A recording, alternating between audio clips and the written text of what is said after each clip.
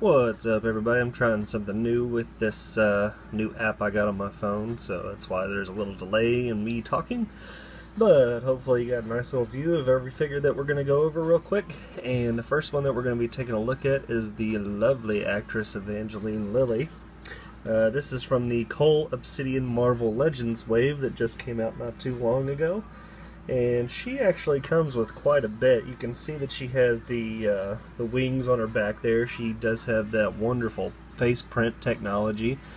Uh, she has a nice little sheen on the uh, gold and the reds and uh, uh, actually all over. It's just a really nice paint job. Uh, I like how crisp the lines are all over. I like the texture of the suit. Got a little ponytail back there. And this actually pops off right there so you can either have that one or you can have the one that's closed that just pops in right there. She also comes with several, well actually several, I'm just used to saying that word. She comes with a couple sets of hands. So she's got the closed fist, she has another closed fist, I'm not sure why she came with that, but, and she also comes with two hands that are wide open, like she's flying. And then she also has this hat, or her helmet, uh, which does have a nice sculpt on the inside. You can see it there through the translucent yellow. Uh, so this is a really cool figure. Uh, she's definitely uh, a welcome part of the MCU for sure. I had a crush on her ever since I saw her in, uh, what was it, The Hobbit? She was that sexy ass elf. So there is Wasp. Marvel's Wasp. Can't wait for Ant-Man and the Wasp to come out.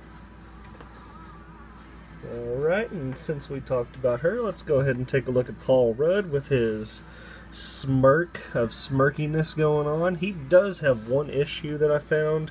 Actually, a couple issues. Uh, I think the forehead is just a little too predominant.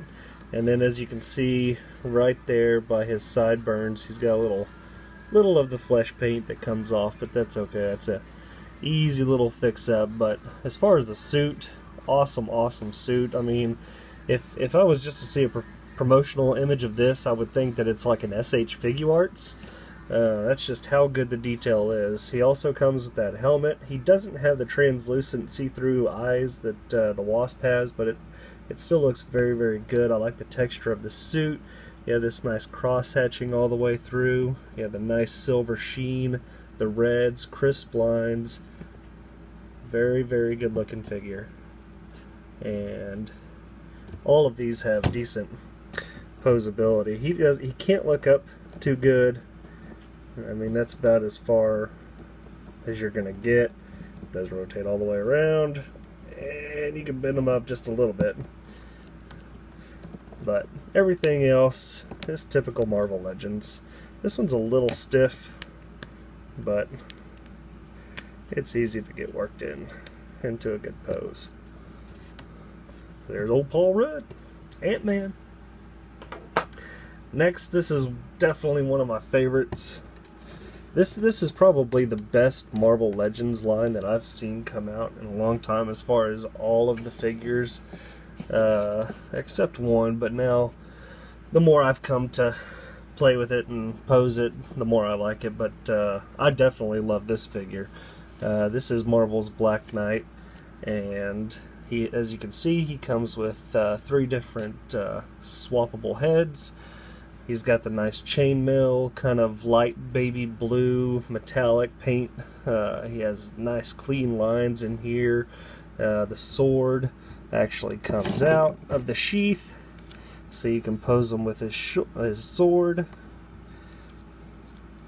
and there's he's got the nice blue cape and I really really like this figure I like any kind of medieval figure he didn't come with any changeable hands though but that's okay he got three heads can't complain Next, let's take a look. This is probably my least favorite in the wave, but I do like that it is a, uh, looks like a new sculpt altogether. And he does have that be beautiful flowing golden locks. Uh, got This is Malekith, uh, if you didn't know. And he does have a pretty decent paint job, but it is kind of simple all the way around. You can see, look at that hair. That hair is just crazy. So there's Malekith. Then you got the little utility belt that's kind of loose on him. Next, let's take a look at the Uber Hottie Black Widow with the blonde hair.